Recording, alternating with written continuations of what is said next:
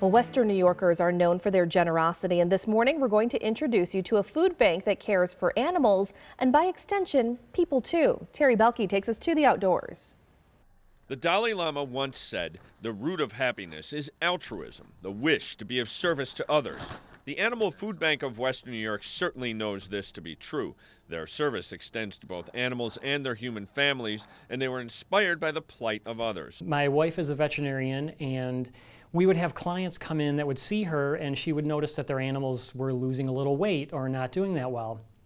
And through questioning them and, and found out what was going on, it, sometimes it would be that they were having a hard time feeding that animal. So what we would end up doing is going in our back room and grabbing some food and giving that to them to take with uh, to help them out. Through that need, the Animal Food Bank was born. We just want to collect as much food as we can and we want to deliver that food to other organizations who are involved with the community and the individuals and families that need that food. We want to help them get that food to the families that need it. One of the food bank's main partners is Feed More Western New York, formerly known as Meals on Wheels. They have a program called Animeals. It was a perfect match. They were one of our first recipients.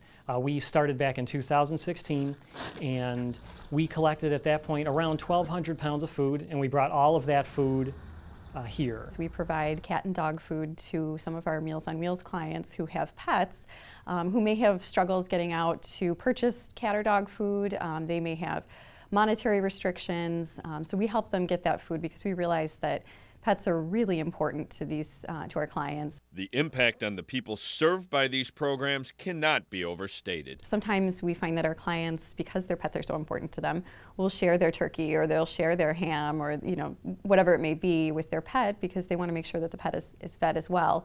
Um, and we certainly don't want to take any food out of the, the mouths of the clients that we serve because it's so important to their health and their well-being.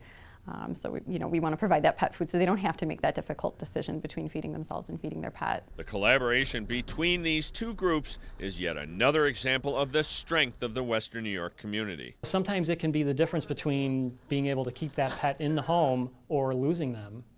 And we really want to help out with that. We are the city of good neighbors, and um, you know, it, it's a good feeling to be able to help someone who, who needs help, whether it be a human or a pet. Taking you to the outdoors I'm Terry Belke.